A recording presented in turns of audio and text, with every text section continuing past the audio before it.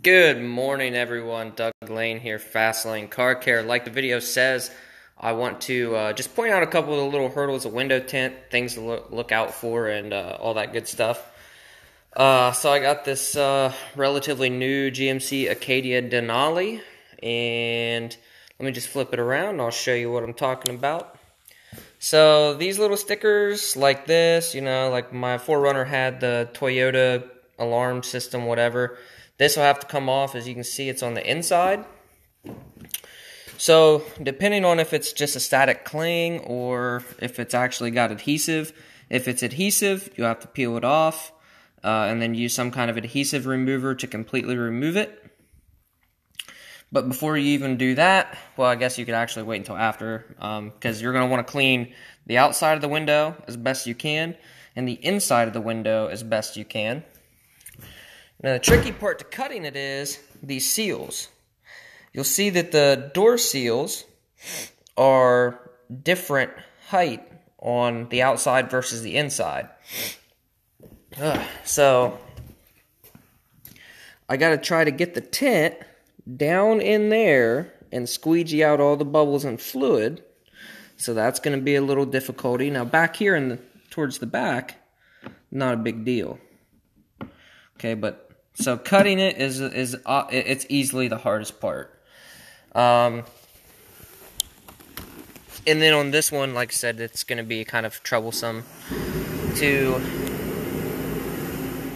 heaters running.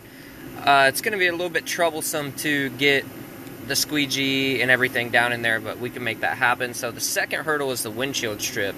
Obviously, if you don't care about the windshield strip, then this doesn't apply. But let's flip it around I'll show you what I'm talking about.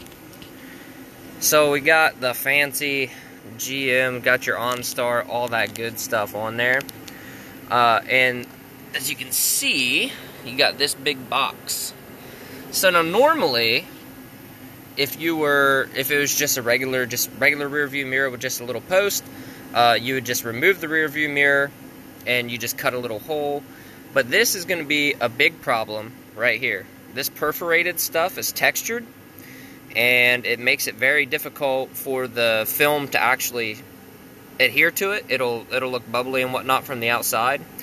So I think what I'm going to do with this one is I'm actually just going to cut the tent around all this and go across to the AS1 line. Now the annoying thing is there isn't an AS1 line on both sides.